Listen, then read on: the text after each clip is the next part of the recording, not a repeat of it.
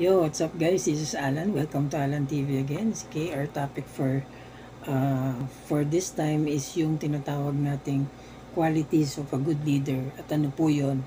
Uh, yun po yung tinatawag nating learning agility. Okay, so what is learning agility?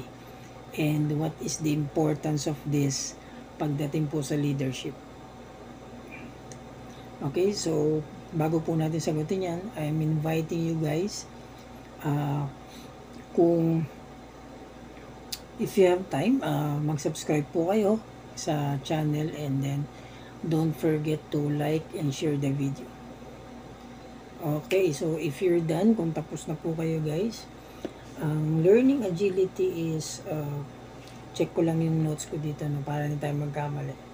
So, learning agility is about knowing how to learn knowing what to do when you do not know what to do. So, ang ibig sabihin nun guys, uh, mabilis kang maka-adapt, matuto pagdating sa leadership. Okay? So, nakakapag-adapt ka ng mga new ways, strategy, uh, planning, circumstances, opportunities. So, uh, alam mo i-tweak o i-troubleshoot yung situation para hindi kayo mapunta dun sa uh, tinatawag natin mistake or distraction ng grupo.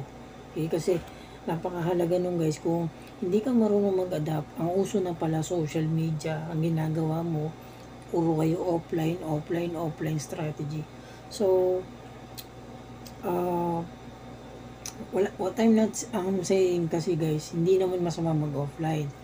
Pero baka yung online mas mabilis at mas less yung gastos.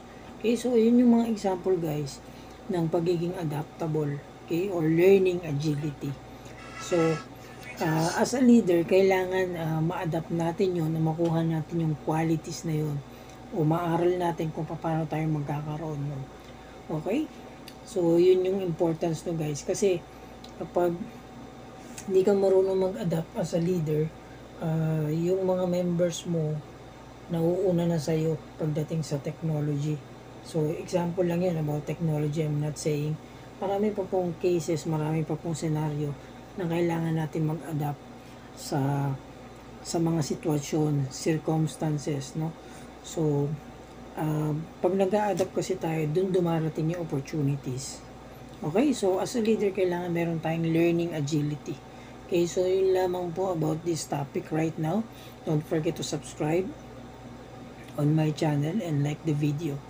Okay, if you want to buy iFern products, nandiyan po yung aking email. And then if you want to invest or join iFern, nandiyan po yung aking email. And then I will send you kung paano mag-join at kumita ng malaki po dito kay iFern. So thank you so much and God bless you.